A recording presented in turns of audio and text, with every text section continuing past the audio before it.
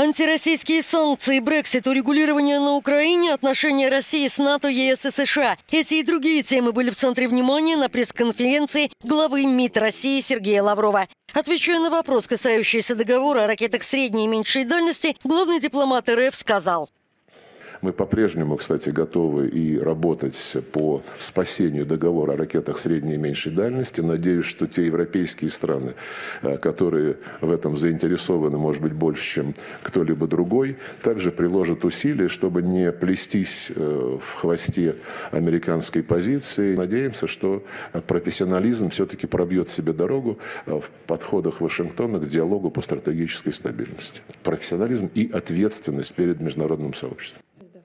Лавров прокомментировал ситуацию с Брекситом. При этом российский министр иностранных дел сделал акцент на том, что Брексит – дело Великобритании, ее подданных и парламента. Какой исход Брексита наиболее интересен России, спросил Евроньюз. Говорить о том, какой вариант нам более интересен, знаете, это, такой, это такая психология, которая характеризует э, страны и политиков, желающих вмешиваться и э, обеспечивать какое-то дирижирование процессами в других государствах. Мы этим не занимаемся.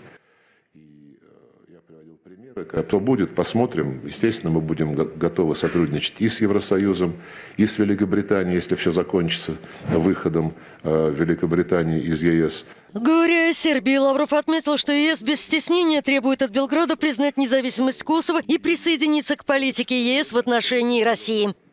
Сергей Лавров назвал неприличным призывать Сербию присоединиться к политике ЕС по отношению к России, которая в том числе включает в себя санкции. Отвечая на мой вопрос в ходе пресс-конференции, министр иностранных дел сказал, что ставить такой выбор либо ты с нами, либо с Россией – это менталитет, который давно себя изжил. Галина Полонская, Евроньюз, Москва.